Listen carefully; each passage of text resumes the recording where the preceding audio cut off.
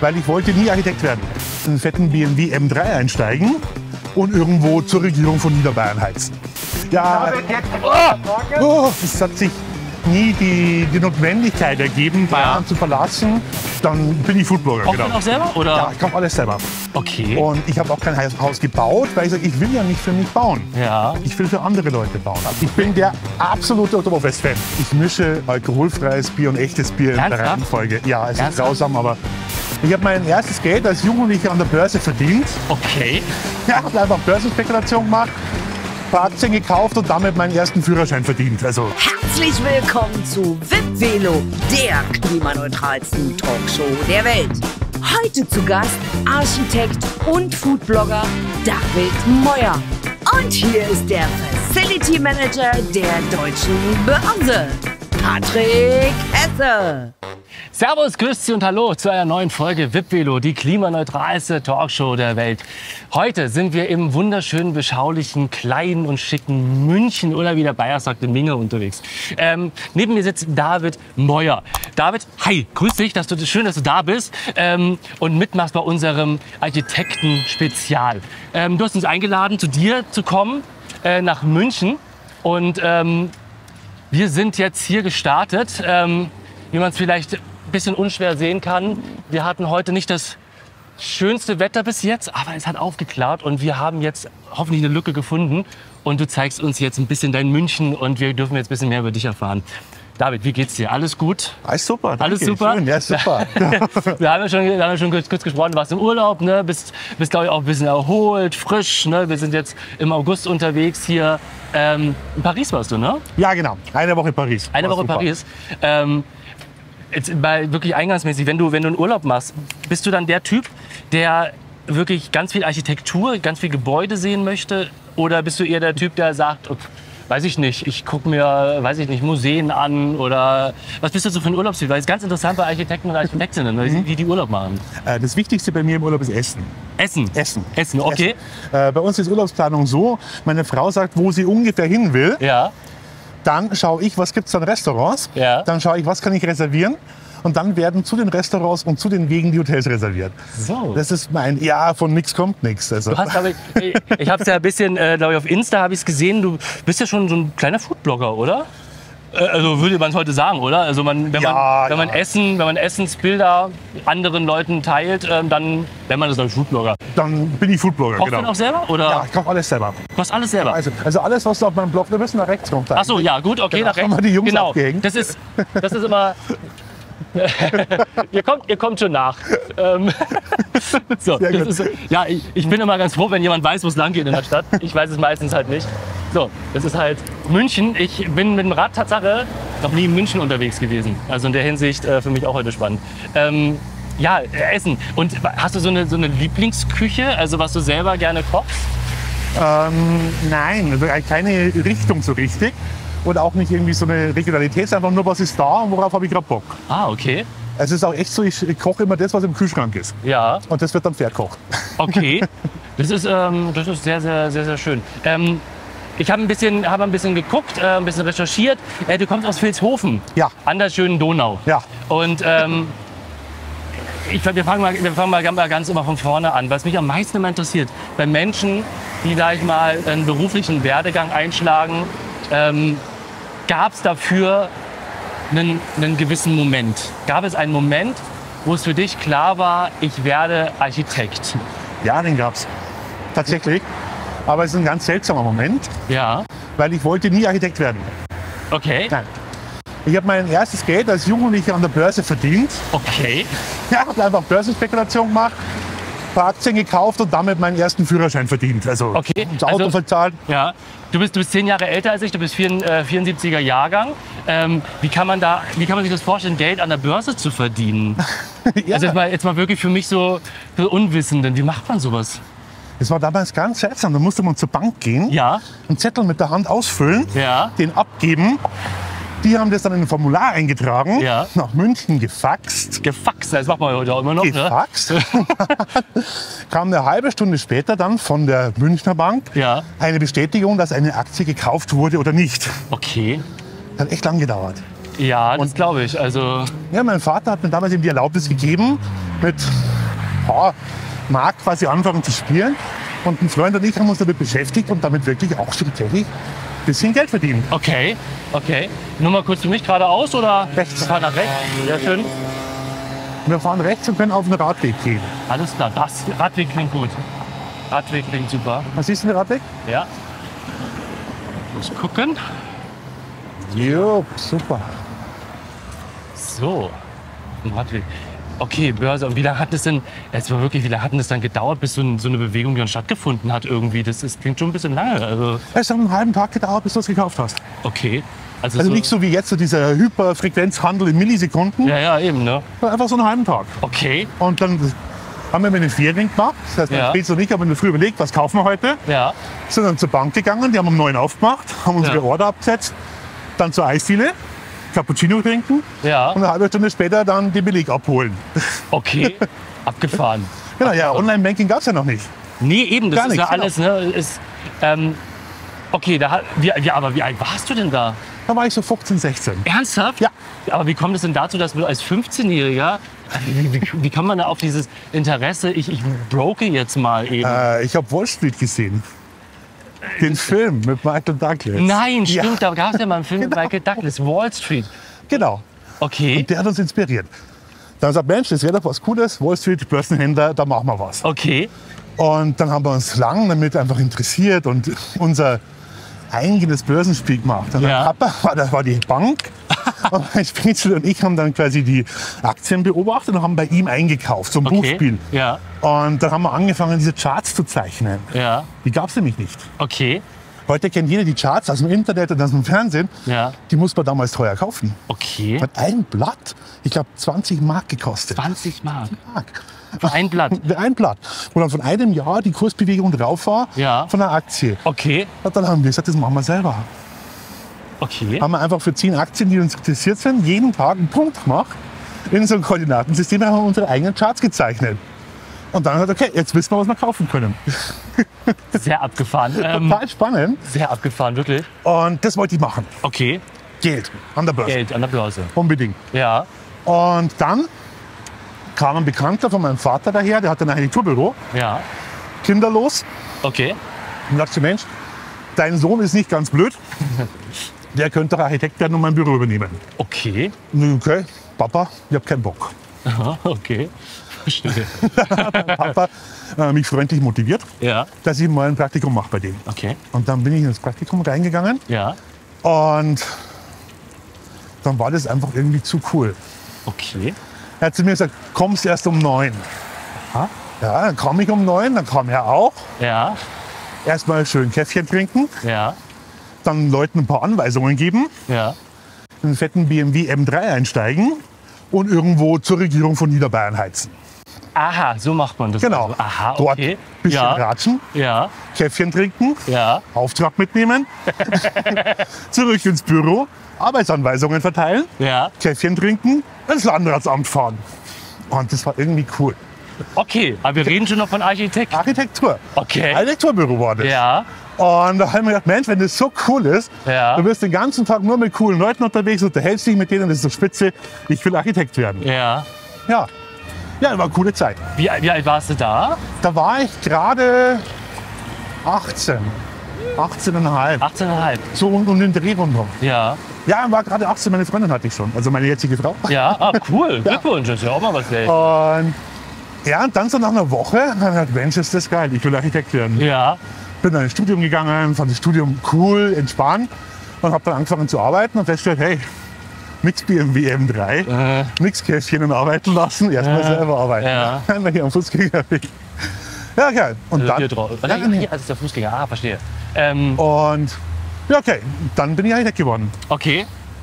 Aber ich habe es nie bereut, sondern ich liebe es, Ja, weil irgendwann kam ich dann schon an den Punkt, wo ich organisieren durfte. ja. Also, es ist also kein sozusagen so ein Erweckungserlebnis, so hey, Architektur ist Wahnsinn und so. Das wäre jetzt nicht die nächste Frage gewesen. Gab es irgendwann so diesen, diesen holy Moment, wo du sagtest, jetzt ist also halt meinetwegen vielleicht in die, als du da in dem, M, äh, in dem äh, BMW drin saß. rüberarbeiten uns. Ja, wir wir fahren mal durch hier durch Untersee, das Ah, Unterseeboot. So, merci. Dann müssen wir da drüber und dann Ja. Das ist München. Ist München fahrradfreundlich in deinen Augen? Normalerweise schon, Normalerweise nur bei. Baustellen nicht. Ja? Nein, grundsätzlich sehr fahrradfreundlich. Echt, ja? Ja, die machen viel für Fahrräder, äh, weisen eigene Wege aus und äh, das ist schon ganz gut. Ja. Ich fahre auch gerne Radl hier. Was General äh, Ja. fährst viel Rad, ja? Ja, ich versuche so die Arbeit zu fahren jeden Tag. Okay.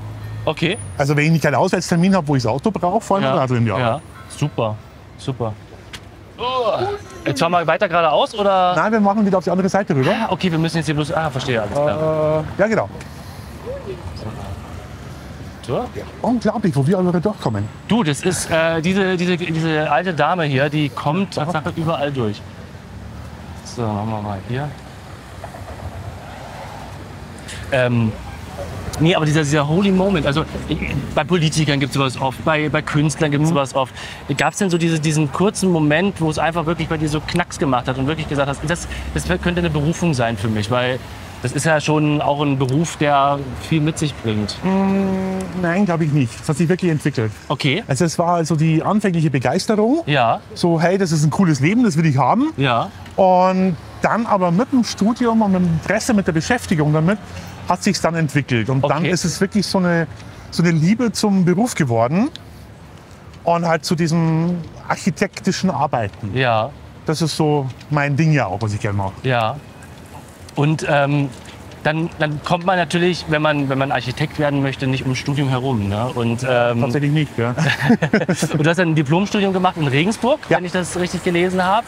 Ähm, also du bist, du bist ja eigentlich dein, dein Leben lang auch irgendwo Bavaria treu geblieben, ein bisschen. Ne? Also wenn ich das so ein bisschen ähm, nachlese, schlägt da, sag ich mal, dieses, dieses bayerische Herz in dir, wo du sagst, mei, ich muss ja nicht raus, hier habe ich ja alles.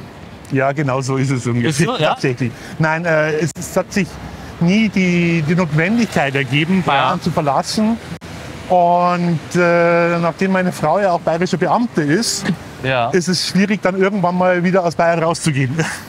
Verstehe, da wird man sozusagen regelrecht äh, angekettet. genau, Ja, sozusagen. Aber, Okay. Nein, aber ich bin äh, in München angekommen und ja auch glücklich. Ja, Also über Regensburg, dann auch mal in Würzburg studiert nebenbei. ja, Mal eine Zeit lang in Erlangen als Zweitwohnsitz gelebt, wo meine Frau dann dort war. ja. Aber München war schon immer irgendwie das Ziel. ja super.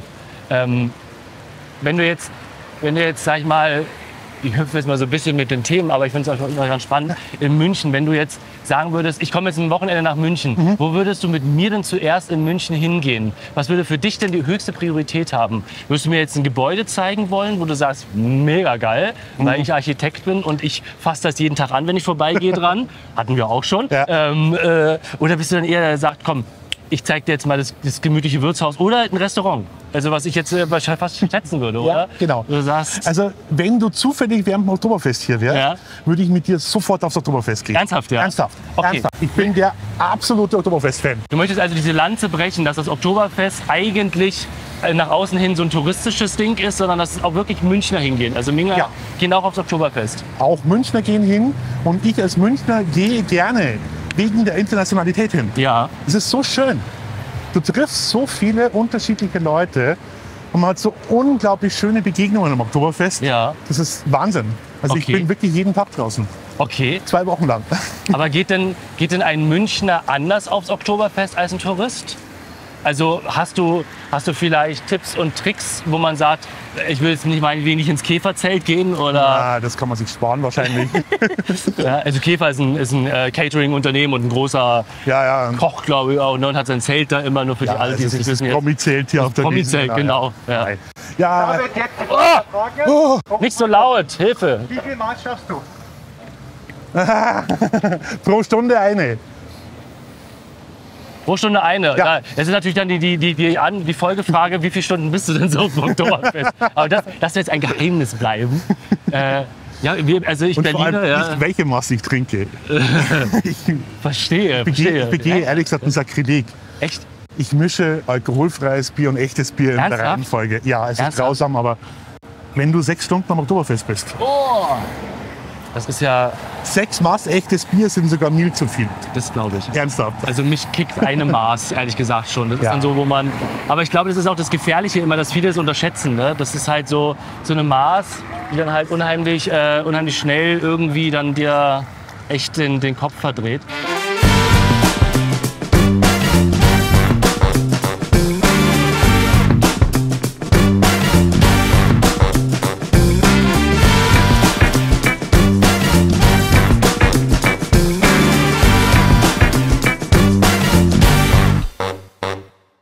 Also ich, ich höre daraus, du bist ein geselliger Typ. Und das finde ich toll an euch Biowaren.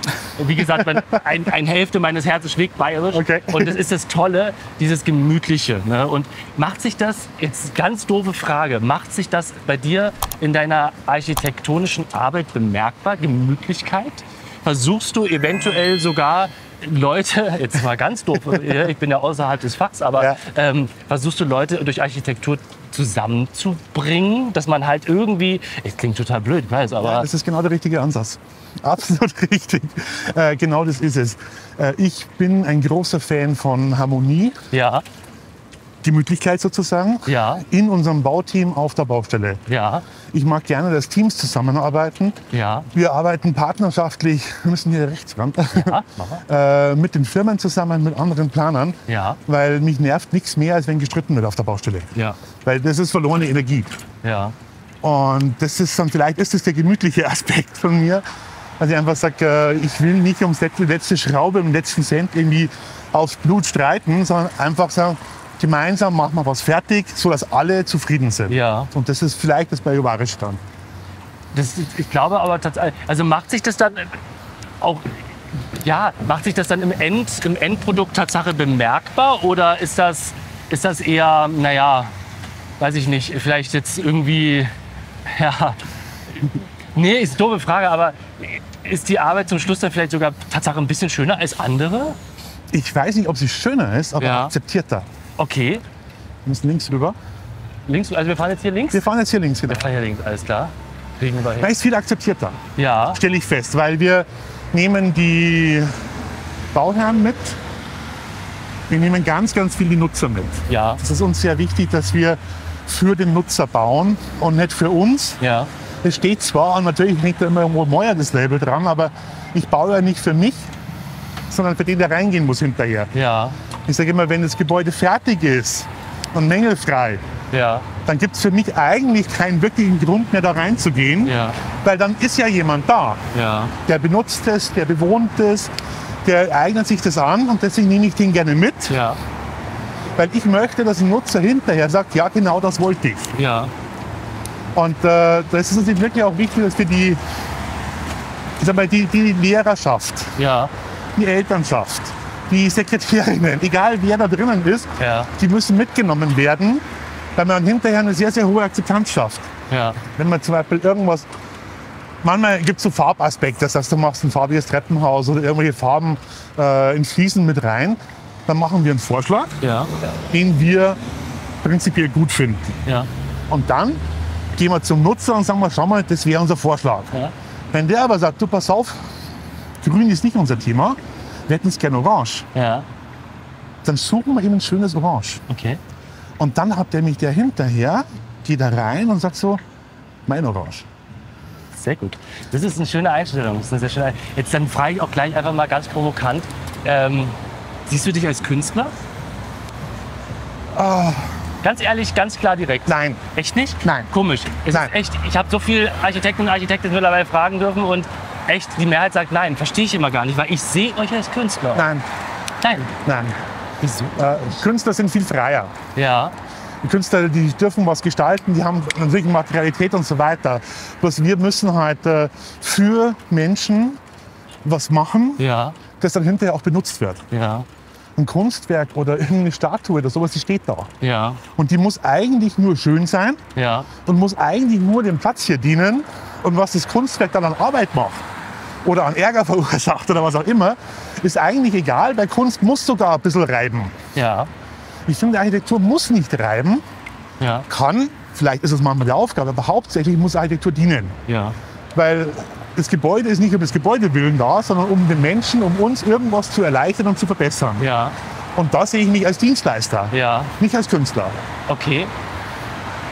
Es ist halt ähm, so als Otto Normalbürger, der durch die Straßen geht, Ähm, und Architektur, du kannst ja, das ist ja das Irrsinnige, du kannst ja nirgends hingehen oder irgendwo sein, ohne mit Architektur in Verbindung zu kommen. Egal was. Genau. Es ist alles Architektur. Es Ja. ist ein Gebäude, ein Straßenbild, alles ist architektonisch. Ne? Und ihr Architekten, Architektinnen habt ja eigentlich die, die Aufgabe, was zu schaffen, was eigentlich erstmal für ewig sein soll. Ne? Ob es dann so ist, ist immer eine andere Frage. Da hat die Natur ja immer noch ein bisschen was mitzureden Ja. und und und. Ne? Ähm, hat man davor eine gewisse Ehrfurcht? Absolut. Also, Also ich schon. Ja, Ich schon. Also ich denke mir mal, wenn ich da was hinstelle, dann soll es zumindest den Platz nicht schlechter machen. ja. Das ist so meine Mindestanforderung. Okay. Ist, Äh. aber auch das liegt ja im Auge des Betrachters. Ne? Also, was ist jetzt schlechter, was ist besser? Ja, ich glaube, es ein paar gewisse Grundsachen gibt es schon, woran man sich einigen kann, dass es gut ist. Ja, Und es muss halt in irgendeiner Art und Weise den Zweck erfüllen, den das Gebäude machen muss. ja, Und natürlich muss uns klar sein, wir können nicht einfach ein Update drüber laufen lassen. ja.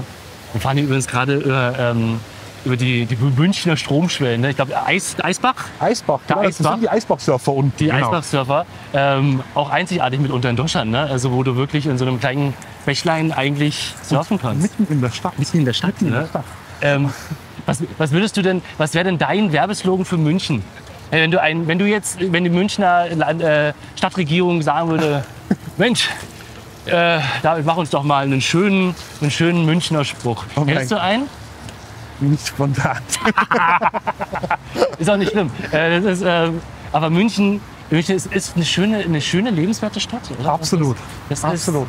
Ähm, es ist, ich ich stelle fest, es ist, es ist leider genauso laut wie in Berlin, wenn man an Hauptstraßen fährt. Ne? Das ist ähm, Radwege. Es gibt sie.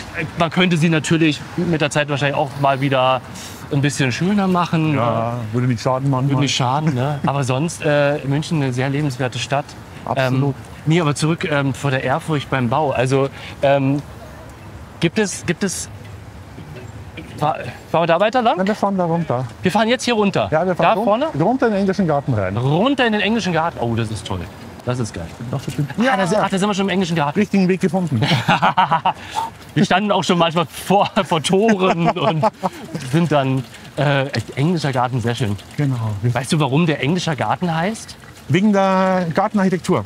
Okay. E- Weil eben dieses wilde, dieses verschlungene, wir bleiben da ein bisschen rechts und Ja. arbeiten uns dann links rüber. Ja. Im Gegensatz zum französischen Garten. Okay. Ich war ja gerade in Versailles, Ja. französischer Paris, Garten. Versailles, ja. Wer Versailles kennt, das sind strikte Linien, alles ganz gerade und sauber geschnitten und gestutzt. Ja. Und der englische Garten ist das nicht.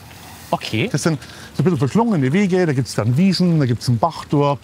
Äh, Die Bäume dürfen Bäume sein Ja. und müssen keine Skulpturen sein. Ja. Und das macht dann so einen englischen Garten aus. Aber wenn ich immer so äh, Briten und also Engländer und äh, Rasen, dann fällt mir immer die Nagelschere ein eigentlich. Ne? Fahren Ja. wir jetzt rechts? Wir fahren oder- links, wir Wir fahren links, wir links. fahren links. Genau. Dann auch rechts, links, Nein, wir fahren dann rechts rüber. rechts. Sehr schön. Jetzt sind wir zu nah an der amerikanischen Botschaft. Oh ja, das wollen wir vielleicht heute mal nicht riskieren. Ja, weil Hier mit ich unserem Gefühl, ja, ja. ähm, ja, nee, weil ich, ich finde Briten und äh, Rasen halt immer, dann ist immer dieses, dieses, äh, dieses Vor dieser Vorurteil ähm, ne, mit, der, mit der Rasen, äh, Ja, mit der, genau. mit der ähm, äh, Nagelschere schneiden sie ihren Rasen. Aber sind die Briten eher verschlängelt, ja, im Garten Die anscheinend? sind da ein bisschen äh, entspannter als die Franzosen, genau. Okay, interessant. Ähm, weißt du, wann der, hier, wann der hier erbaut wurde? Weiß man das? Oh, Also das müsste irgendwann in den 1800ern gemacht worden, Ende der 1800er. ja, Und ist auch wirklich so als äh, quasi Naherholungsgebiet für die Münchner Bürger ja, angedacht worden. Hat der König gesagt, er braucht ein Stück Land und das schenkt man den Bürgern, Ja. damit die sich hier flanieren können, rumlaufen können. Ja. Ist ja auch wirklich schon immer ein Bürgergarten gewesen. Also kein Schlossgarten, Ja. nicht dem Adel oder sonst jemandem vorbehalten, sondern wirklich für den Bürger. Ja, ja man, muss ja man muss ja sagen, dass, dass, dass, dass ihr Bayern ja eigentlich immer Glück hattet mit den Königen. Ne? Ihr hattet immer so Märchenkönige. Ja. Ja, ich erinnere mich nur dunkel an Ludwig II., glaube ich, war das, ne? und Neuschwanstein. Und Ja, ja, ja. Ne? Aber mal ganz ehrlich, der, der Junge hat euch, glaube ich, die Zukunft gerettet, was Tourismus angeht und ähnliches. Absolut. Also, Absolut. ne? also also wer noch nicht in Schloss Neuschwanstein war, hat wirklich was verpasst. Also Ja. man muss Ja, hin. ja, ja. Das ist also auch wenn es so kitschig ist, äh, man muss einfach hin. Wollen wir jetzt hier rein? Wir fahren hier rein, genau. Wir fahren an dem Eisbach entlang. Ah, super. Ja, das sind so architektonische Großtaten. Ja, ne? Das ist auch wichtig. Ja. Also finde ich gnadenlos wichtig, sowas zu machen, weil das bringt dann auch Tourismus und es macht dann auch wirklich Sinn, Ja. da zu investieren. Weil wir haben uns Bayern hat sich massiv verschuldet für das ganze Zeug. Ja, ich glaube auch, das ist, hat, wurde lange abbezahlt. Ja. Ne? Also, ähm, Und hart abbezahlt von Hart der Bevölkerung. Aber es war eine langfristige, sehr gute Ja. Investition. Man ist einmal vergleichbar zum Beispiel mit Hamburg mit der Elbphilharmonie. ja, Die war jetzt sicher nicht billig. So ganz günstig war sie nicht, glaube ich. Nein, aber sie hat einen echten Wert. Ja, Da hat es sich gelohnt, wirklich Geld zu investieren. ja, Oder ist dieser klassische Bilbao-Effekt quasi. Ja. Du baust irgendwas Verrücktes, Teures, Wahnsinniges, wo die Leute unbedingt hinwollen und Ja. es anschauen. Dann hat es einen Sinn. Hast du, hast du einen Traum? Also hast du einen Traum, was du für ein Gebäude oder was auch immer noch in deinem Leben gerne mindestens anstoßen möchtest zu bauen oder wirklich dann auch noch zu Ende sehen? Beim, ist ja früher in der, in der Geschichte weiß man ja viel auch nicht, dass zum Beispiel, wenn ein Dom gebaut wurde, ne, der Architekt hat meistens das Ende ja nie erlebt. Ne? Es waren Genau. dann immer mehrere Architekten, dann, die dann übernommen haben und und und. Gibt es denn irgendwas für dich, wo du sagst, das wäre einfach mein Lebenstraum jetzt? Einfach mal so, keine Ahnung. Irgendwas Großes, Wildes anstoßen, meinst du? Ja, Ah. Nein, echt nicht? nein. Ich hatte ganz komischerweise öfters hier jemand sitzen, die meinten Museen. Ach na, Da habe ich auch mal gefragt, warum ein Museum? Ja. Und dann meinten sie, na ja, weil ein Museum einfach halt ein, ein Gebäude ist, was halt einfach auch meistens sehr lange steht. Genau. Ne? Und halt auch irgendwie meistens was Schönes beinhalten kann. Ne? Wo man halt so Leute auch rein können, auch für die Öffentlichkeit. Und Ja, es sind sicherlich ganz äh, interessante Bauaufgaben. Und äh, da kann man sich auch wahnsinnig verspielen und verwirklichen. ja, Aber dieses sich selbst verwirklichen, das ist nicht mein Thema. okay. Also da ist für mich der, der Dienstleistungsgedanke dahinter. Ja. Ich verwirkliche gern die Träume anderer Leute, aber nicht unbedingt meine. Okay, Also ich, ich lebe zum Beispiel auch in einem gemieteten Haus. ja. Ich habe mir kein eigenes Haus gekauft, damit ich nicht selber da irgendwas rumbaue. Okay. Und ich habe auch kein Haus gebaut, weil ich sage, ich will ja nicht für mich bauen. ja, Ich will für andere Leute bauen. okay. Also vielleicht eher wie so ein, äh, ja, wieder vielleicht wie ein Künstler, wie so ein Musiker, der gerne auf der Bühne Musik für andere macht. Ja, dann frage ich anders. Was wäre denn deine, was, worüber, über welche Auftragsarbeit würdest du dich denn am liebsten freuen? Also worauf hättest du denn immer so richtig Bock, wenn dir jemand sagt, bau mir das mal bitte oder plan mir das. Ich war jetzt hier dann links links über diese wunderschöne Brücke. Ein, ein Stadtteil. Ein Stadtteil.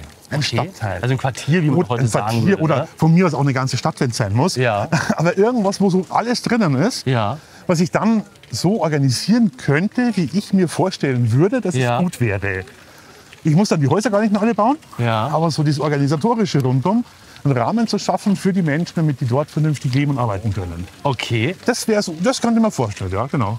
Das, das, klingt, ähm, das klingt wirklich sehr, also halt auch sehr volksnah. Also ist halt, was du auch schon vorhin mal vorhin meintest, diese Gemütlichkeit. Ne? Ja. Also das ist, ähm, ich kann mir dann auch vorstellen, wenn du, wenn du dann wirklich die Möglichkeit hättest, ein Quartier zu planen, ich glaube, du würdest unheimlich viel Gemütlichkeit reinbringen wollen, oder? Dass die Leute Treffpunkte haben wahrscheinlich und dass das irgendwie so miteinander wird. Ne? Ich würde die Leute fragen, was sie wollen, Ja, und die würden genau das sagen. ja, Wenn man die fragt, ja, was, was möchtest du in deinem Stadtteil haben? ja. Du willst einen guten Italiener haben, Ja. du willst einen Markt haben, du willst einkaufen können und deine Kinder sollen nicht weit zur Schule haben.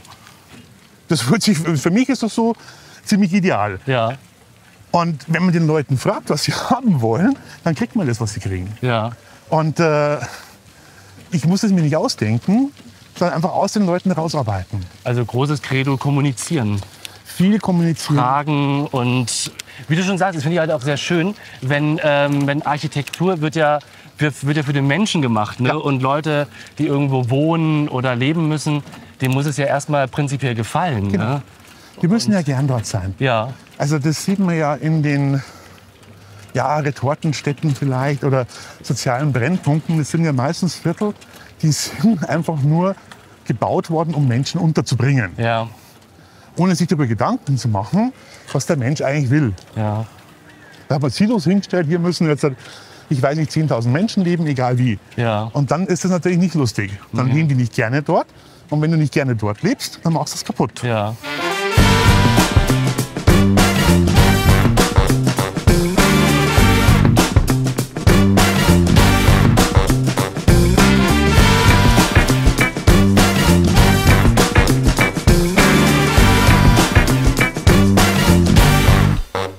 Als geübter E-Bike-Fahrer kenne ich das natürlich nicht. Bist du. E-Bike-Fahrer, ja? E-Bike-Fahrer, ja. Okay. Äh, ja, da- da ich die nächste Frage. Äh, E-Bike, warum E-Bike? Weil eigentlich ist doch das Schönste, wenn du so diese ganze Kraft von dir selber in dein Fahrrad stecken. Ich bin Rennradfahrer Das ist super. Ja, Abends. ja. Aber wenn ich, abends. Aber wenn ich früh ins Büro fahre Ja. und ich keine elektrische Unterstützung habe, Ja. dann will das mitt- mittags keiner mehr riechen. Verstehe, verstehe. Mir fehlt die Dusche im Büro. Sehr gut. Für sowas. Wir fahren hier rechts Wir rum. fahren rechts rum. Ach, schön. Ja, ist hier ganz historisch. Wo sind wir denn? Äh, gerade? Ludwigs-Maximilian-Universität, Ja. Geschwister-Scholl-Platz. Oh, okay, historischer Ort. Alles klar. Sehr historisch, Weiße Rose. Ja. Auch äh, sehr, sehr wichtiger studentischer Platz. Ja. Hier ist studentisches Leben. Okay, Das ganze Viertel hier rundum und das ist super. ja. Aber selber warst du, hier, glaube ich, warst du nicht in der Uni, ne? Selber. Nein, Das nein. War, du warst, wie gesagt, Regensburg, ne? Und, ach toll, schön. Jetzt hier Da nach, über die Straße drüber. über die Straße drüber. genau. Wie kommen wir da rüber? Da drum kommen wir rüber. Genau, hier ist ein Ah, schön. Das ist das, ist das Friedenstor. Siegestor. Siegestor, genau. Ja, die berühmte Ludwigs- oder Leopoldstraße. Wenn der FC Bayern wieder was gewonnen hat, dann sind hier die Hubkonzerte rauf runter. Ja.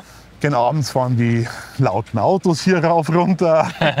da haben die jungen Dinge ein bisschen Spaß dabei. Genau. Da wieder eine Frage von mir. Ja, Blau oder rot? rot! rot! Für alle, für alle nicht eingeweihten FC Bayern oder 1860. Ja, ja, ne? Also ich bin nicht normal. so leidensfähig für 1860, sorry. Ehrlich gesagt, ich bin wirklich ein sehr schlechter Fußballkenner. Ähm, aber ich glaube, es gehört dazu, oder? In München musst du dann auch ein Fußballfan sein. Von, äh, Nein. Nee? Nein, ich bin zwar Mitglied beim FC Bayern, Okay. weil wegen der Kinder und so weiter, Ja. aber Fußball interessiert mich eigentlich nur zu Weltmeisterschaftsfinals. Ja. Da schaue ich Fußball. Okay. Aber ansonsten, Samstagnachmittag bleibt bei mir der Fernseher aus, weil mich nicht interessiert. Nee, das ist ja auch Nicht mein gut, Sport. Alles gut. Was, was, aber was würdest du dir eher angucken an Sportarten, wenn du mal irgendwie. Tennis. Tennis? Tennis ist mein Sport. Okay. Weißt, also, wir müssen jetzt wieder Links runter, genau. links runterfahren. Mal. Links Super. runter, ja. Ah, schön. Da fahren wir jetzt auch gleich so auf die Feldherrnhalle zu, Odeonsplatz. Ja, Da können wir jetzt nicht rein, weil da gerade die European Championships sind. ja. Aber hier ist dann quasi Münchner Prachtmeile. Okay. Ja, super. Ja, und äh, bevor wir dann diese Prachtmeile jetzt erleben, äh, machen wir ein kurzes Päuschen. Ja. Bei euch geht's gleich weiter. David Meuer, hier ist er.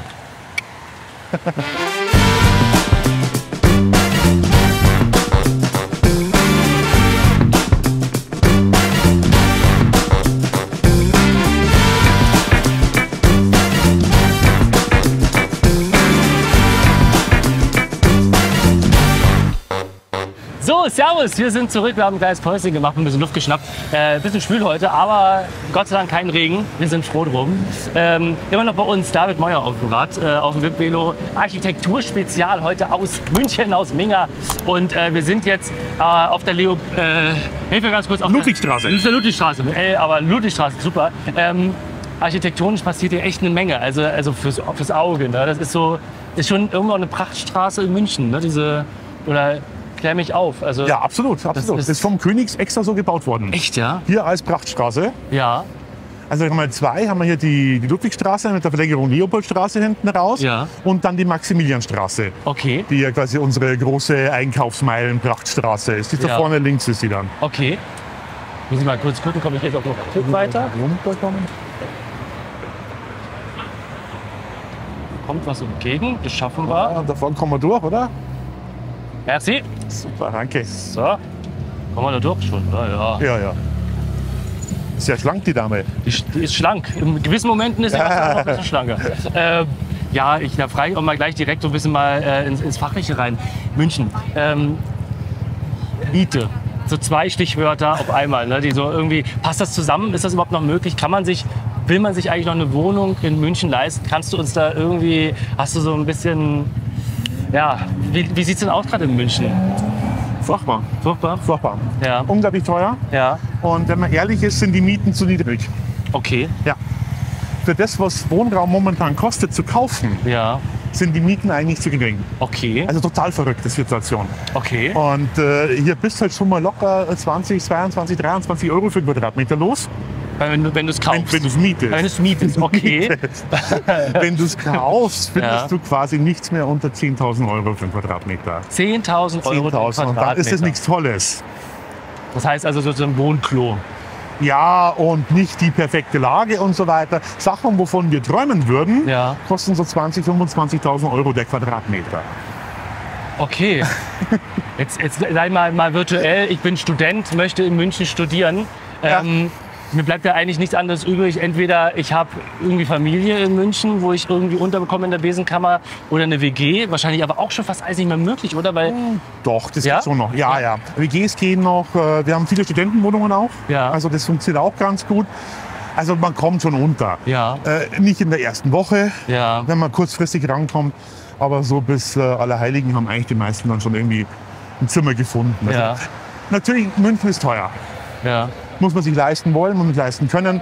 Aber ist auch unglaublich schön. Ja, jetzt frage ich mal einfach mal ganz doof, ähm, warum ist München denn so teuer? Was macht denn München jetzt halt dann so preisig teuer? Das versuche ich mir immer so als wirklich ganz normaler Autonormalmieter, wir fahren Ja. schön nach rechts, Ich genau. nach rechts ja. ähm, so als Autonormalmieter, was macht denn dann immer eine Stadt so viel teurer? Also viele Gebäude stehen ja eh Ja. schon und äh, klar, eine Stadt entwickelt sich und es kommt viel dazu, aber warum mussten, das ist vielleicht die falsche Frage an dich, aber Ja. vielleicht, vielleicht deine persönliche Meinung, warum müssen denn Städte prinzipiell immer teurer werden vom Wohnen? Es, ich habe bis jetzt noch nie gelesen, dass eine Stadt wirklich günstiger wird. Nein, das auch nicht. Das ist irgendwie, warum? warum Ja, das ist denn einfach Angebot und Nachfrage. Ja, Ganz einfach. Weil in Niederbayern, wo ich herkomme, Ja. sind die Häuser vor ein paar Jahren billiger geworden. okay, Tatsächlich. ja, Da konnte man dann wirklich relativ günstig sich irgendwo Wohnraum kaufen, Ja. weil es nicht attraktiv war. ja, Und München ist halt einfach hochattraktiv für alle, die hierher wollen. ja, Also für die großen Firmen, für die Großverdiener.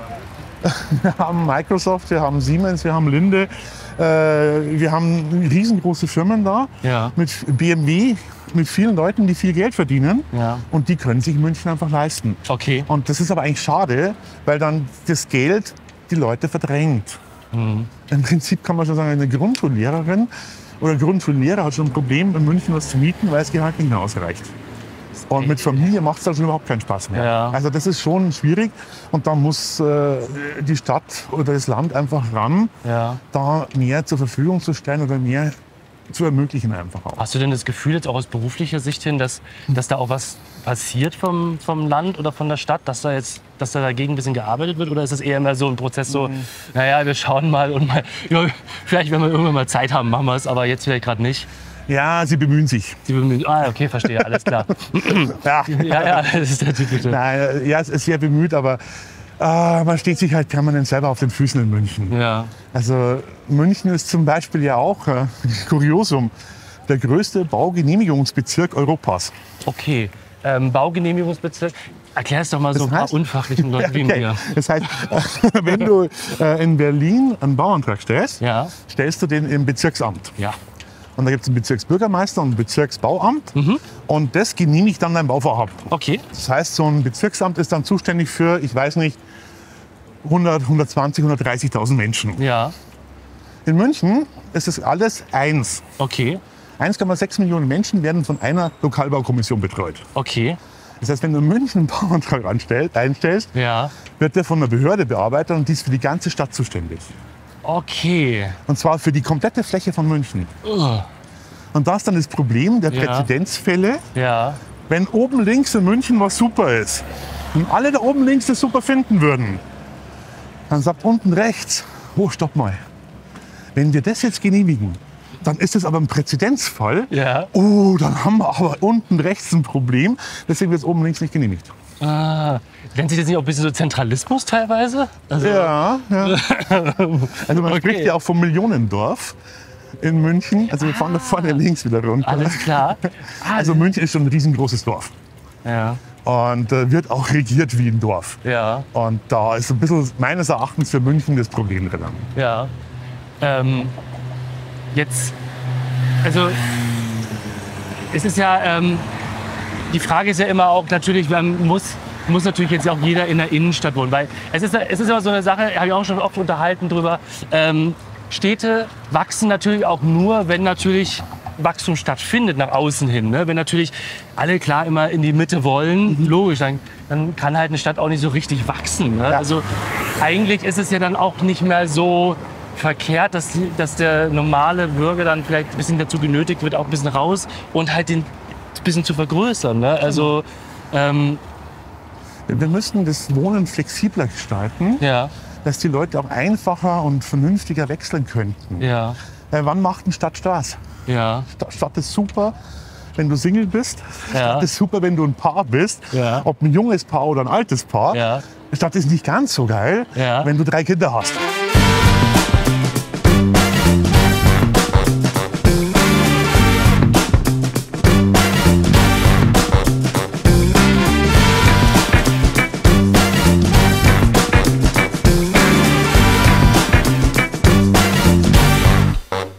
David, noch mal kurz zurück zur Stadtentwicklung. Es gibt in München dieses Thema mit dem Postpaket Gelände.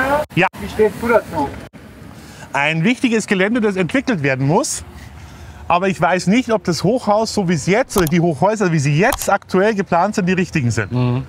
Da muss noch mal ran, meines Erachtens. okay. Bist du, bist du denn eher pro Hochhaus oder eher kontra pro Haus, äh, Hochhaus? Oder bist du da so. Äh, ich sage, ein Hochhaus macht überall da Sinn, wo ein Hochhaus Sinn macht. Ja, Es ist absolut standortabhängig. ja, Wenn du einen Standort hast, wo du sagst, das ist zwingend, da muss ein Hochhaus hin, Ja. dann kann man da ganz, ganz hoch und ganz viel bauen. Ja. Manche Standorte gibt es, die nicht so geeignet sind, da muss man sich jetzt zwingen. Ja. Also da bin ich eher sag mal, leidenschaftslos oder pragmatisch. Da, wo es sein muss, da muss es sein. ja. Aber ist jetzt nicht so dein, also Hochhäuser sind nicht so dein architektonisches Favorite, wo du sagst, boah, geil, wieder ein neues Hochhaus. Wieder 50 Stockwerke, so geil nach oben. Weil früher ist man ja in der Historie, glaube ich, in die Breite gegangen. Ja. Heute geht man in die Höhe. Äh, ich frage mich halt, was dann als nächstes noch kommt. ähm, Breit also- und hoch. Äh, Ja, genau. Ne? Ist dann so. Äh, ähm, nee, und. Ähm, aber du hast doch sicherlich auch architektonisch ein gewisses Steckenpferd, oder? Äh, was ist denn so dein, dein architektonisches Steckenpferd? Also ist nicht architektonisch, das ist eher organisatorisch, Oh, die Architektur. okay. Ja. Äh, ich mag es, wenn ein Team baut. Okay.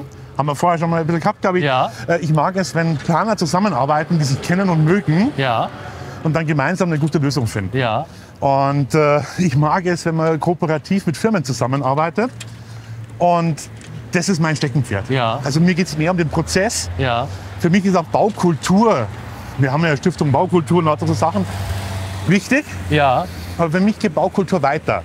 Ja. Es ist nicht nur das, was hinterher steht, sondern auch das, wie es vorher entstanden ist. Ja. Ich denke, das ist gerade so, äh, wir diskutieren viel über Kata momentan. Ja. Wir können da reingehen. Äh, die Welt schaut plötzlich drauf, was passiert denn, äh, wenn Stadien gebaut werden, unter welchen Bedingungen werden Stadien gebaut Ja. und äh, machen sich Gedanken darüber, dass es menschenwürdig und sinnvoll sein muss. Ja. Ah, hier gerade. Da Äh, sind sie anscheinend. Beachvolleyball am Königsplatz. Auch geil. Einfach mal so auf dem Platz. Total. Geil. Geil. Total krasse Geschichte. Geil. Wir müssen jetzt, glaube ich, da, hast du gesagt. Äh, ne? nein, eins vorher. Eins vorher da rein. Dazwischen Super, rein, genau. Machen wir. Hier haben wir keine Ampel mehr. Sehr schön. Ähm, ja, Ja, dies- dieses, dieses Teambauen, das ist Ja. mein Thema. Äh, und da habe ich einfach Freude dran. ja. Und du hast mir gerade noch so zugeflüstert, äh, was mit Mono. Modulares Bauen. Modulares, Modulares Das ist die Bauen. Hitze. Modulares Bauen. Äh, das ist quasi Bauen mit sehr viel vorgefertigten Teilen. Okay. Im Zweifelsfall eine komplett vorgefertigte Raumzelle, Ja, die dann aneinander gestapelt werden. Oder halt vorgefertigte Wände mit Decken, die gefügt werden. ja, Weil das für mich an allen Bereichen einfach nur Vorteile hat. okay. Und zwar, wenn man sagt, äh, wenn eine Wand in einer Fabrik vorgefertigt wird, Ja, dann ist es da trocken. ja, Da ist kein Wind, ja, kein Schnee, kein Hagel. Da haben die Mitarbeiter ordentliche Toiletten, ja, einen Pausenraum ja, und können daheim schlafen. ja. Wenn wir das irgendwo machen, haben die Arbeiter alles das nicht. Sondern müssen dann quasi in Containerburgen arbeiten, mit Baustellenbedingungen zurechtkommen und so weiter. Ja. Und das finde ich ist nicht so optimal. Ja. Und die Qualität dessen, was entsteht, handwerklich, Ja, ist auch noch viel besser. Ja. Wenn du im Trockenen schreinern kannst, ist es besser, als wenn du irgendwo bei Wind und Wetter draußen bist. ja, Und wenn man das richtig macht und dann quasi den richtigen Unternehmer dafür sucht, Dann kriegt man auch wieder ein Bauteam. Das heißt, äh, so ähnlich wie der Generalunternehmer, der alles baut, Ja. bloß wir gehen her und lassen den Unternehmer auch noch planen. Das heißt, er kann so planen, wie er gern bauen möchte. Wir sagen nur, was wir wollen, Ja. definieren die Qualitäten, die Funktionen und ob dann der Boden oder die Decke aus Holz, aus Stahl, aus Carbon, Kryptonit oder was weiß ich immer ist, Ja. ist vollkommen egal. Ja. Das heißt, wir lassen Handwerkern und Firmen wieder Freiheiten Ja. und wollen nur die Nutzung haben Ja. und die Qualität. Und, und dann natürlich, wenn so ein Unternehmer hergeht und baut sich ein Team zusammen, Ja. dann baut sich der natürlich ein Team zusammen mit Leuten, die er mag. Sollte man annehmen. Ne? Mit Leuten, denen er vertraut. ja, ja. Und dann funktioniert es auch viel besser, als wenn wir einfach nur irgendwelche weltfremden Firmen zusammenstecken. Also, wenn ich das jetzt so richtig interpretiere auf meine, meine sehr äh, naive Art, ist das eigentlich der, die Weiterführung des Plattenbaus. Ja, Ne? Also, im Prinzip. Weil letztendlich ja der Plattenbau auch schon der erste Weg dahin war, dass man halt eigentlich sehr viel Fertiges dann nur noch zusammenbaut. Genau. Ja. Äh, Und der Plattenbau war in dieser Entwicklung schon, finde ich, richtig Ja. und wichtig. Ja. Die Qualität hat bloß nicht gepasst. Ja. Auf Dauer. Mhm. Und das ist halt, was wir unseren Kunden immer sagen, wenn wir funktional, qualitativ beschreiben, bekommst du selbstverständlich das Schlechtestmöglichste, was im Rahmen deiner Beschreibung möglich ist. Den Satz muss ich mir auf Ja. den T-Shirt drücken. Ja. ja, es ist, als Vergleich immer, ich, ich esse ja. Gott sei Dank wir alle. Aber Geh, geh, geh in ein Lokal und Ja. sag zum Wirt, Wirt, bitte präsentier mir 1500 Kalorien. Mhm. Was macht ein Wirt? Er wird dir ein Stück Butter hinlegen und wird für 1,50 1500 Kalorien liefern können. Okay.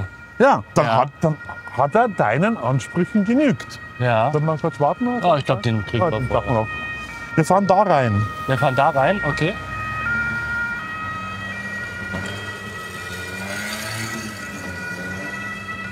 Ja. Schön. So, Genau, dann hast du war eine Zone, aber was für eine Zone weiß ich auch noch blaue. Zone. Eine blaue ist Zone. Eine Parkzone. Eine Parkzone. Parkzone ist es. Ah, Das verstehe. ist jetzt innerstädtisch und dürfen hier innerstädtisch parken. Ah, okay. Zurück zum Stück Butter. Genau, zum Stück Butter. 1500 Kalorien Ja, und dann bist du quasi gesättigt. das stimmt. Jetzt willst du es aber nicht. Ja. Dann kannst du sagen, okay, äh, lieber Wirt, liefer mir 1500 Kalorien, aber es muss Brot dabei sein. Ja, Dann würde er ein Krümel Brot drauflegen. ja, Oder du sagst, es muss eine Scheibe Brot dabei sein, die mindestens 120 Gramm wiegt. Ja. Oder es muss ein gutes Bauernbrot sein. Oder auf diesem Bauernbrot sollte schön eine französische Butter geschmiert werden. Ja. Es sollte noch ein Schinken draufgelegt werden, der kurz angebraten wurde, Ja. noch ein Spiegelei drauf. Dann kommst du langsam an das, was du eigentlich willst. ja. Und so musst du halt beschreiben, was du haben willst. Ja. Wenn du es nicht beschreibst, kriegst du es nicht. Da hast du vollkommen recht. Und das ist eigentlich auch so eine Umdenkensweise, Ja. die wir vielleicht alle mal so ein bisschen auch, ne, äh, weil wir ja ähm, letztendlich ähm, wirklich vielleicht auch unsere Wünsche und Bedürfnisse, was das angeht, ein bisschen mehr definieren müssten. Ja. Ne? Also ähm, sicherlich ist da natürlich nicht alles möglich in einem gewissen Preisrahmen, aber man kann vielleicht doch was anderes machen. Ne? Also, also, wie du schon sagst, qualitativ vielleicht dann doch ein bisschen hochwertiger und Ja, wir, wir verkünsteln uns halt in ganz vielen Bereichen. ja, Also auch ein Thema, was wir im Bauen ja problematisch sehen, äh, diese ganzen DIN-Normen, ja, die uns ja wirklich alle stressen. ja. Also wir machen jetzt ein bisschen was Verbotenes und biegen links ab. Ah, okay. Ja, verboten ist cool. wo, sind, wir- wo, sind wir jetzt gerade? Jetzt sind wir hier am Promenadeplatz. Ja. Äh, Hotel Bayerischer Hof, Michael Jackson Denkmal hier vorne. Michael Jackson Denkmal. Michael Jackson Denkmal. Okay. Why, why the fuck Michael Äh, Jackson das ist Denkmal? eigentlich eine Modularstatue. Ja. Aber weil Michael Jackson, wenn er in München war, immer im Bayerischen Hof genächtigt hat Ja. und die Fans immer davor gewartet haben, haben die irgendwann angefangen, dort so Michael Jackson-Bildchen hinzustellen. Okay. Und seit er gestorben ist, ist das quasi so ein Michael Jackson-Schrein. Alter, Das ist quasi okay. das inoffizielle Michael Jackson-Denkmal. Nice, sehr nice. Wir befinden uns da jetzt in so einer richtigen, das ist eine Einkaufsstraße. Jetzt sind wir mitten in der Stadt. Mitten in der sind Stadt. wir mitten drinnen. Äh, gleich rechts ist, das- ist das Rathaus. Ja. Äh, wir können jetzt wenn wir der Trambahnlinie folgen würden, Ja. würden wir rauffahren zum Maximilianeum, zum Bayerischen Landtag. Ja, Äh, also wirklich mittendrin jetzt.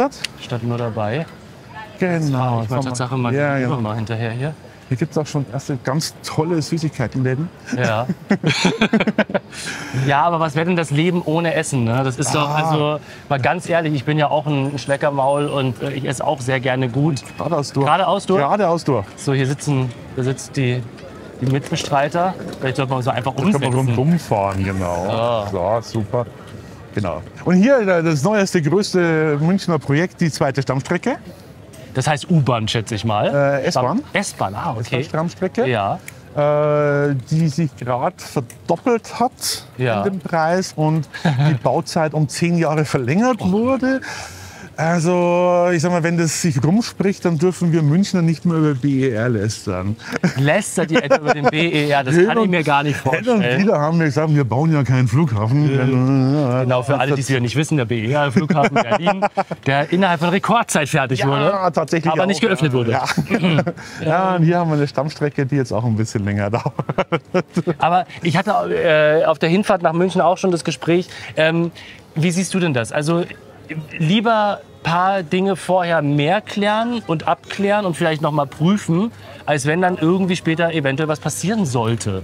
Also ich sehe immer so gerne das Beispiel damals der Terminal von Charles de Gaulle, äh, ein, ein architektonisches Meisterwerk, bis er halt eingestürzt ist. Ne? Ja, genau. Und ähm, wo ich mir dann auch denke, Mensch, Franzosen, die können es doch eigentlich auch. Ne? Wir fahren da runter, Wir fahren da runter, da runter. Und dann wieder rechts. Da vorne ist jetzt Marienplatz, da dürfen wir nicht Rad fahren. da dürfen wir nicht Radfahren. Nein, da darf Okay. man nicht Rad fahren. Das ist eine kleine Ecke, darf man nicht Rad fahren. Das ist ja, ist ja geil. Da dürfen wir nur schieben dann, ne? Ja, da dürfen wir dann nur schieben. Und deswegen fahren wir jetzt hier unten ums Eck rundum. Super. Und Ähm, nee, aber dieses ähm, wirklich noch mal vielleicht noch mal lieber noch mal prüfen, noch mal nachgucken, noch mal vielleicht doch noch mal einen Statiker mehr drüber gucken lassen. ja, äh, Sicherheit sich verschaffen, aber mit Beinfreiheit arbeiten. Okay. Ganz, finde ich ganz wichtig. Ja. Weil äh, ich kann mich ja im Prinzip totprüfen. Gerade wenn ich irgendwo im Bestandsbau unterwegs bin, äh, dann müsste ich jedes Loch aufmachen, um zu wissen, was dahinter ist. Und wenn ich jedes Loch aufgemacht habe, dann kann ich es auch gleich richtig machen. Also äh, deswegen große Linien, äh, die wichtigen Sachen an den Kernpunkten prüfen, aber sich bitte nicht totprüfen. Also das, äh, das, übertreiben wir manchmal ein bisschen. Okay. Ja, ich weiß, ich weiß was du meinst. Ne? Und ich denke mir halt immer als, als, als Nutzer dann, zum Beispiel auch am BER und am Flughafen, denke ich mir halt, naja gut, Klar ist eine Menge schiefgelaufen, da können wir eine ganze Sendung selber füllen damit. Aber ähm, so an sich, es ging, ging um eine äh, Rauchzuganlage am Anfang noch und dachte mir, naja, ist ja eigentlich ganz gut, wenn das vorher noch mal wirklich eventuell dann noch mal alles noch mal geprüft wird, bevor es im Notfall halt dann echt nicht funktioniert. Ne? Genau, Und, das ist wichtig. Ja, die, die wichtigen Sachen musst du prüfen. ja. Ja klar, das ist äh, da, wo Menschenleben abhängen. Ich sag mal, äh, wir müssen lernen, wieder in Schutzzielen zu denken. Ja. Und das oberste Schutzziel ist und bleibt für mich Menschenleben. Grundsätzlich.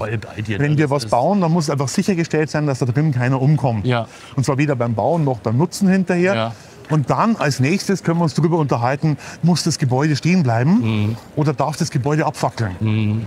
Das ist, finde ich, schon eine wichtige Diskussion, weil nicht jedes Gebäude, das fahren wir ganz langsam dadurch, das sind viele Leute, aber es ist eine Fahrradstraße. Heiße Fahrradstraße. Und das ist der berühmte Münchner Viktualienmarkt, an dem wir jetzt vorbeikommen. Sehr geil. Sehr geil. Ja, dann fahren wir hier mal ganz gemütlich durch. Das ist, glaube ich, so mit die, die, die größte Menschenmasse, die wir uns jetzt bis jetzt. Ja, mehr kriegen wir heute auch nicht mehr. Das ist gut. Das Das ist unser Peak für heute und dann haben wir es sehr gut. mit Menschenmassen. Schön. Hier hinter uns sehen wir, sehen wir das neue Rathaus. Ne? Das neue Rathaus, genau. Ein Traum. Ah, die Fahrradstraße kann mich erinnern, vor vielen Jahren war die auch noch nicht da. Also da ist hat sich Ta- was getan. Ne? Taxis dürfen noch durchfahren, aber Ja. Autos nicht mehr. Klasse. Also Genau. München wird auch so langsam von innen heraus Ja. so ein bisschen, man, man gewöhnt die Leute ein bisschen um, glaube ich, langsam. Ne? Ja, macht ja auch Sinn, weil Ja. auf der Fußgänger braucht Platz.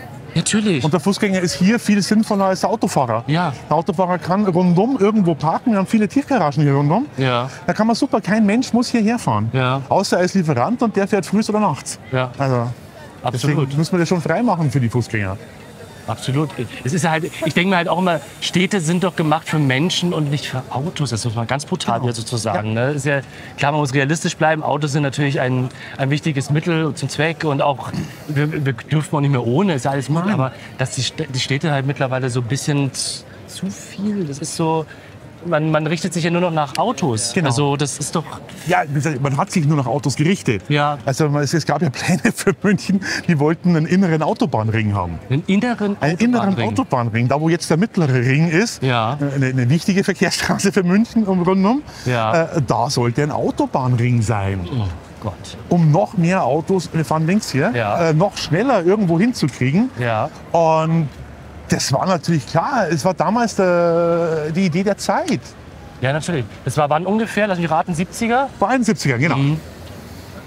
Das war in Berlin auch Tatsache so. In Berlin wollte man auch durch Kreuzberg Autobahnen, Autobahnkreuze Genau. sogar. Ne? Und Gott sei Dank sage ich heute immer noch Gasbewegungen. Es gab Bewegungen, die gesagt haben, nee, das können wir nicht machen. Genau. Seid ihr bekloppt? Ja, was soll denn das? Ne? Und, und das sind Weiterentwicklungen und da merkt man, dass die Menschheit gescheiter werden Ja. kann. Das finde ich super. Ja, na, wir, wir sollten einfach mehr, sag ich mal, vielleicht äh, glücklich sein darüber, wenn wir halt einen Lebensraum haben, wenn wir was, was, was sicheres, einen sicheren, schönen Lebensraum haben mit, ja, vielleicht ein bisschen besserer Luft. Ne? Und, ähm, aber du siehst ja auch einen Trend hin, dass da eher die Städte jetzt, wenn sie dann umgeplant werden, auch mehr den Menschen wieder zuge... Also, zum Beispiel ist ja die Frage, du hast ja gesagt, ein Stadtviertel wäre so, Ja. wenn du, das wäre wär was Tolles. Ja. Wie, wie, welche Rolle würden Autos bei dir im Stadtviertel spielen? Eine untergeordnete. Ja. Autos müssten schnell erreichbar sein Ja. im Stadtviertel. Autos müssten auch einen Zugang haben. Ja. Oder zumindest es muss Transportflächen geben. Ja. Weil zieh mal einen Schrank um ohne Auto. Ja. Also du musst eine Möglichkeit haben, dass du reinfahren kannst, dass du auch irgendwo vor die Haustür hin kannst. Aber links rüber, nur dann, wenn es wirklich sein muss. Ja. Verstehe. Genau. Ja. Oh, Fahr dann da geradeaus weiter. Geradeaus weiter. Super. Also wirklich nur dann, wenn du sagst, ich habe jetzt echt das Bedürfnis und ein Interesse, weil ich was Schweres reintransportiere. Ja. Oder von mir aus auch den Wocheneinkauf. Ja, klar. Und, und natürlich Polizei, Feuerwehr versteht sich von Genau, selbst. das muss ne? alles sein, Natürlich aber, aber ansonsten muss ich nicht jeder sein Auto vor der Haustür parken Ja. und nicht zwei und nicht drei Autos vor Ja. der Haustür parken, sondern du musst schnell die Sachen erreichbar haben, aber an sich einfach eine Fläche und Raum für den Menschen. Das ist wichtig. Ja. Und vor allem Begegnungsräume. Ja. Das finde ich das eines ganz wichtig, weil die Leute sind soziale Wesen. Wir brauchen einander. Absolut, wir können uns nicht ja. in Schuhschachteln einsortieren Nee. Äh, und sagen, ja, wir haben das Bedürfnis zu essen und zu schlafen und fertig, sondern wir wollen leben, wir wollen uns erleben und uns spüren und uns kennenlernen. Ja. Und dafür braucht es Bewegungsräume und Bewegungs Absolut. Bewegungspunkte. Absolut. Da braucht es Cafés, da braucht es kleine Läden. Ja. Äh, auch der kleine Laden, dass der eine Chance hat. Ja. Und damit der kleine Laden eine Chance hat, braucht er aber auch eine Menge an Menschen. Ja. Das äh, sehen wir ja bei manchen äh, jüngeren Stadtentwicklungen, die zu locker gemacht wurden. Ja. Dass du sagst, okay, du hast jetzt schon irgendwie so eine dreigeschossige Bebauung hier rum und dann einen Tante-Emma-Laden und einen kleinen Supermarkt, aber der geht pleite, weil zu wenig Menschen rundum wohnen. Du brauchst eine Dichte. Ja. Und diese Mischung aus Dichte, Menschen zusammen und Versorgung, die funktioniert dann auch wieder. Ja. Als ich in der Max-Vorstadt gewohnt habe, also so nach dem Studium bin ich nach München gezogen Ja. mit meiner Frau. Ja. Äh, ich habe kein Auto gebraucht, außer für die Arbeit. Ja. Und ich konnte auch jeden Tag einkaufen gehen. Ist ja kein Problem, weil dann gehe ich runter, der, der Tengelmann, äh, der war dann irgendwie eine Straße weiter und dann kaufst du, was du heute und morgen brauchst. Und da brauche ich nicht das große Auto voll. Ja. Das funktioniert auch.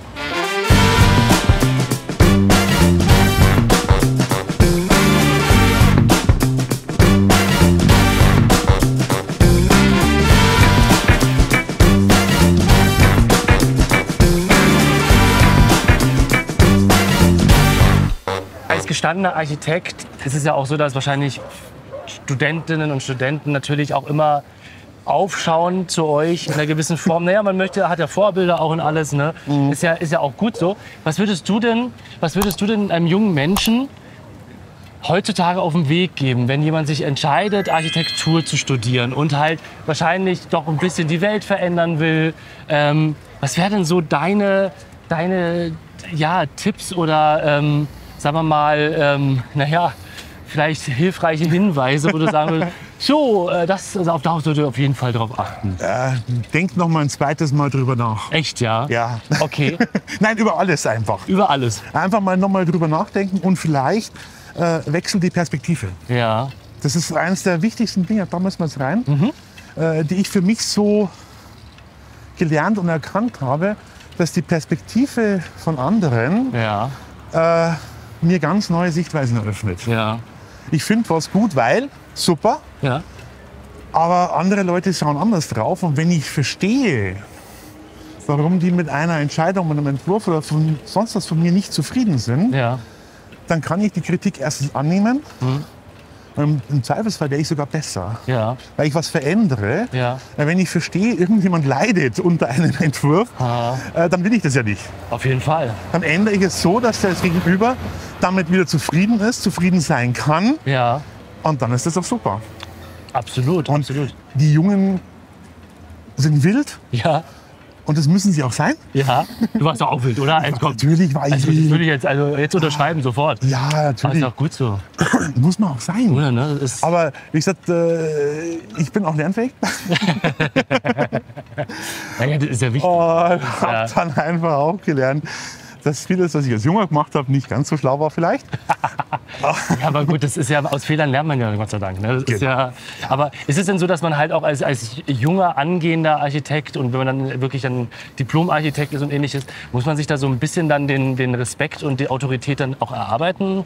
Ist es dann so die ältere Generation dann drüber, die dann sagen, ah, Mai, was willst du mir denn sagen? Ja, ist, Erstens die Älteren und dann die, die was anderes machen. ja, Äh, das ist ein hartes Geschäft. Mhm. Also ich, ich muss jetzt ein bisschen jammern. ja mach. Äh, also ich ich habe meine Ka- Karriere begonnen als äh, Sicherheitsingenieur. Ja, Da habe ich quasi mich um Arbeitssicherheit auf Baustellen gekümmert. ja, Ein eher nachrangiges Thema im Ja. Bauen und war dann schon viel ehrenamtlich tätig an der Kammer und so weiter.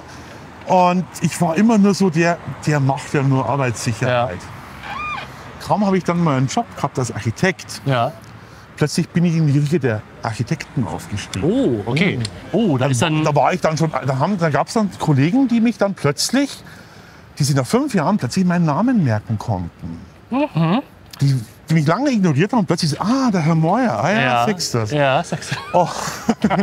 und dann habe ich ein Büro aufgemacht und ein paar Mitarbeiter und wir haben dann auch schon Umsätze gemacht und Ja. es war ganz ordentlich. Ja. Als wir dann aber das erste Mal bei einem Architektenwettbewerb zweiter Platz wurden, Ja.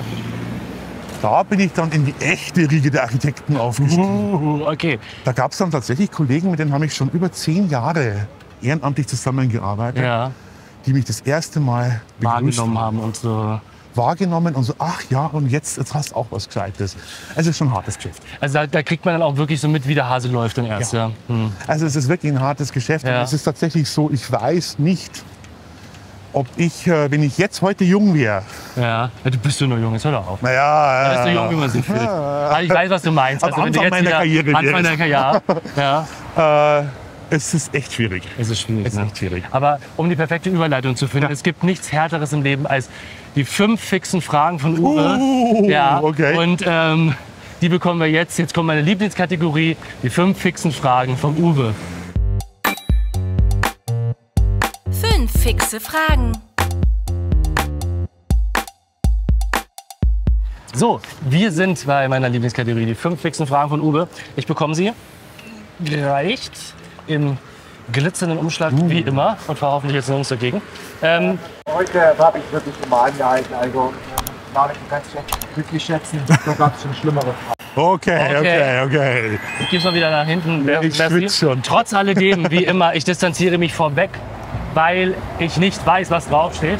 Das sind die Fragen vom lieben Uwe hier hinter uns, die ihm auf dem Herzen brennen. Und ich, ich finde die erste Frage schon mal sehr sympathisch. Oh ähm, erste Frage, Weißbier oder Helles? Weißbier. Sehr gut. Äh, die zweite Frage wäre, zu Silvester lieber ein Rammstein-Konzert auf der Theresienwiese oder Dinner for One mit der Familie? Dinner vor mehrere mit der Familie. Sehr gut, sehr gut. Muss er geradeaus?